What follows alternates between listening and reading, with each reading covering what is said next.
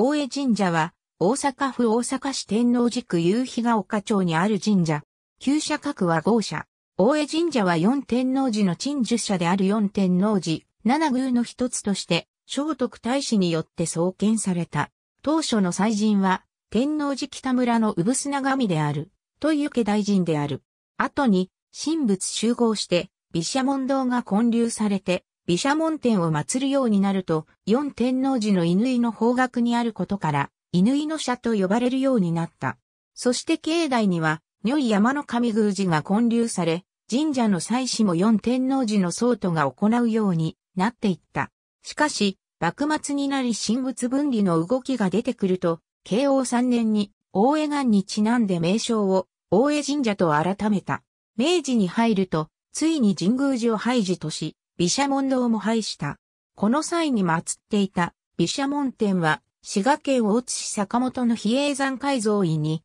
移している。1907年、将棋神社、上宮神社を合祀する。太平洋戦争中の1945年3月13日14日に行われた第1回大阪大空襲によってエマ堂と神儀湖以外のすべての建物が消失するが、1963年に本殿が再建された。当神社には、コマトラというものがある。コマトラの由来は不詳であるが、300年以上前の作と考えられている。その昔、コマトラの奥に、如意山の神宮寺の毘沙門堂があった。虎は、毘沙門天を守るとされている、ゆかりのある動物である。コマトラは、もともとはアウンで一体を成していたが、運型の方が明治初期に滋賀県の傍寺に持ち出されてしまったと言われている。一方、残った阿行であるが、大阪大空襲の際に焼夷弾を受けて損傷をしたものの、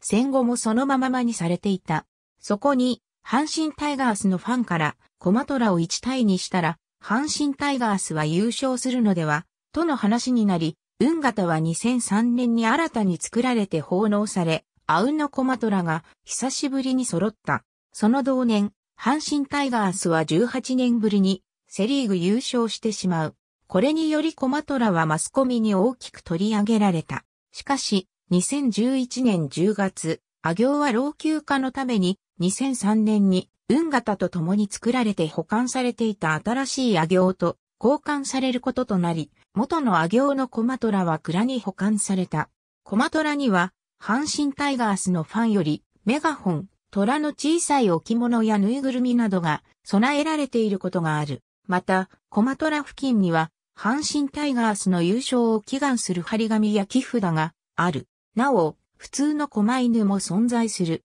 所在地交通アクセス。ありがとうございます。